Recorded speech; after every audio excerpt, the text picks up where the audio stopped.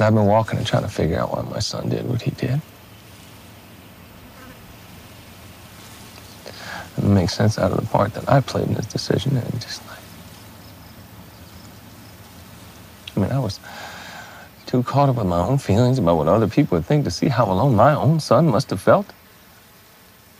I should have known how bad it was for him. I, I should have known all along, but instead, I just, I just made Jadin's being gay all about Joe Bell.